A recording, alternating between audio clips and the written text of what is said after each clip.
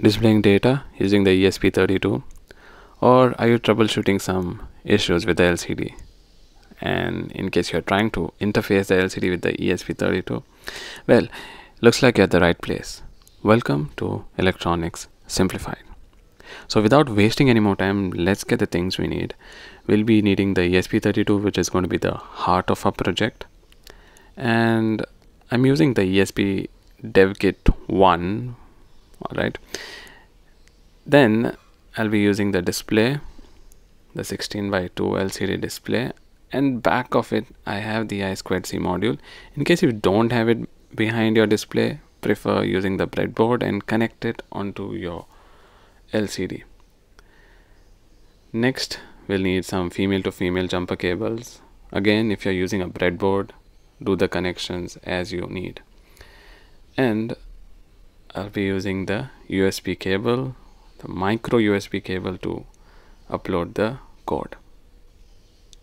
So now let's uh, move on and have a look at the circuit diagram.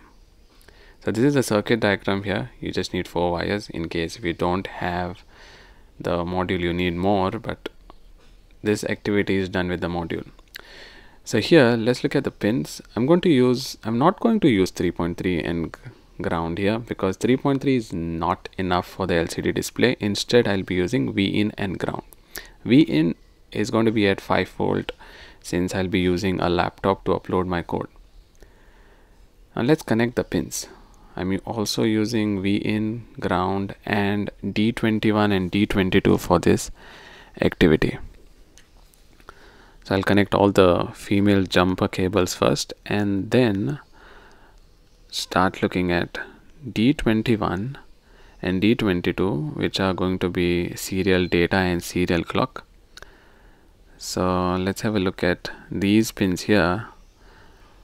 Serial data is going to be D21 and serial clock is D22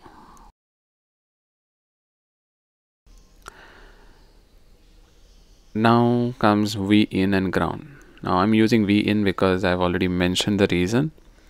3 point if you're using 3.3 volt by any chance you'll see that the backlit is a little dimmer than the V in and V in is preferably to be used from a computer. Alright now it's time to upload the code. So in order to upload the code I'm going to connect the micro USB cable. There you go. And let's move on to upload the code now set up the code environment open the Arduino IDE go to preferences and go to the additional board manager. Make sure the link is pasted down here. If you don't have it then I have put it in the description. Just paste it down there. Then go to tools and look at the board manager. Go to board and board manager. Make sure ESP32 is installed. Now for me it's going to take a while. Let this thing download here. Hmm. So yeah search for ESP32 and hit enter. In my case I already have it installed. You just need to click on install if you don't have it. Next move on to adding the LCD so go to include libraries and include the zip library that I've provided again in the description and then I think we are all set. Let's hit upload now once I hit upload it's going to take a while so I'm just going to run this faster.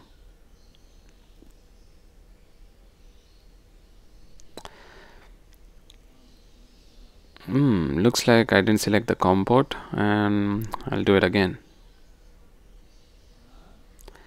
And now again it's done hopefully. Now if you can't get it done I recommend you to watch my errors of uploading on the ESP32 you, there's another whole video on it. Let's move to troubleshooting. Now you got to find the correct address using the I2C scanner code which is then again in the description because some of you might not be able to do it in one go. For me it was 0x27 in case some of you might have it like 0x3f or you know it could be anything depends on your model that you are using. So you just need to make the changes there. Now even after uploading the code and debugging all the issues you can consider using the you know troubleshooting method that I am using here. Now for example you can't see anything on your display and the backlight is on. Then adjust the trim pot behind or else it could be a connection failure. So just check the connections again. I'm just going to rectify the connections. I have done a mistake on purpose in this one. So I'll just swap and show you what would actually happen.